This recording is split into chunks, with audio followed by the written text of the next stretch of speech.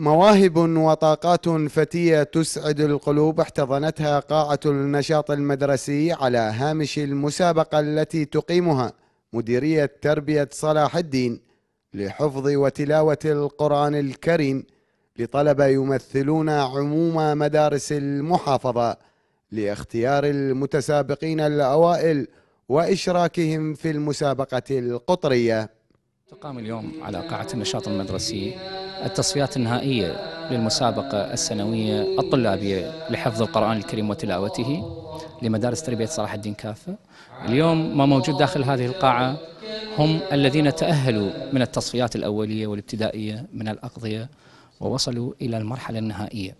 آه، الفائز من هذه المسابقة سيذهب إلى المسابقة القطرية التي تنظمها وزارة التربية في إحدى المحافظات عن قريب إن شاء الله. لذلك آه، جاء التنظيم على هذا المستوى العالي لكي نستخلص أفضل 12 طالب من كلا الجنسين ستة للحفظ وستة لأحكام التلاوة يذهبون إلى وزارة التربية إن شاء الله ويشاركون في مؤتم في مسابقة قطرية نأمل من خلالها أن تكون دائما محافظة صلاح الدين. رقم صعب داخل هذه المسابقة. هكذا مسابقة تشجع الشباب والناس جميعا لحفظ شيء أو حفظ كامل لكلام الله عز وجل. وبالتالي هذا الحافظ سيفهم أحكام الله عز وجل. وإذا حفظها وأتقنها وفهمها يعتدل في سلوكه اليومي والعقائدي. لأن إحنا من شفنا هذه الهجمات التي تدعي الإسلام وتهجم على الإسلام ما فقهوا هذا القرآن الكريم وما حفظوه حقا. وبالتالي إذا إذا ثقفنا الشعب والناس على على هذا المستوى نكون قد أمنا أنفسنا وعقائد أبنائنا من الشطط ومن دواعش وغيرهم لأن هذه الأفكار القرآنية الحقيقية هي التي تدحض كل الأفكار الدخيلة عليه.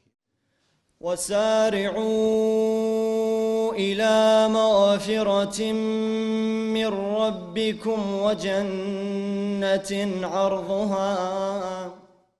فيها الأنهار الأنهار تطير الطلبة المشاركون أعربوا عن سعادتهم لوصولهم لهذه المراحل المتقدمة في المسابقة ومشاركتهم فيها. عادين هذه المنافسة دافعا لهم لتقديم إبداع متواصل تفتخر به المحافظة وليكونوا خير سلف في حفظ وتجويد القرآن الكريم. المنافسة كانت جميلة جدا. والمشاركة هكذا نشاطات نسعى إليها ونتمنى أن تكون موجودة والطلبة بارك الله فيهم. جميعهم كانوا في أحسن أي أوقاتهم ونتمنى أن تستمر هذه النشاطات الدينية والتربوية لتنمي هذا المجتمع على هذه الأفكار الجميلة. آه، أن هذه المسابقة من المسابقات المهمة في المجتمع وفي الأغذية وفي المحافظة. نظام المسابقة يعني آه، تلاوة وحفظ. شاركت في التلاوة. كانت المنافسة جيدة يعني ممتازة. إن شاء الله نحو الأحسن وعالية إن شاء الله. تختلف المنافسات في شتى المجالات إلا أن المنافسة في حفظ وتلاوة القرآن الكريم هو رسالة بأن الأمة بخير. ياسر عدنان. قناة صلاح الدين الفضائية تكريت.